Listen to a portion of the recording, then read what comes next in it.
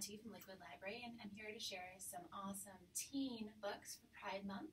Celebrate some amazing books um, about LGBTQIA plus uh, experiences and identities, and hopefully you'll find something you're really to love. This is The Magic Fish by Trung Le Nguyen. This is one of my favorite books um, of this past year. This is a, a masterpiece.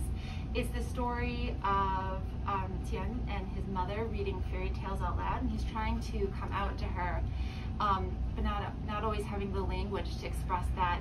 And so, using fairy tales to to tell stories within stories. It's a graphic novel, and it's gorgeous, very much in the the style of sort of turn of the century art.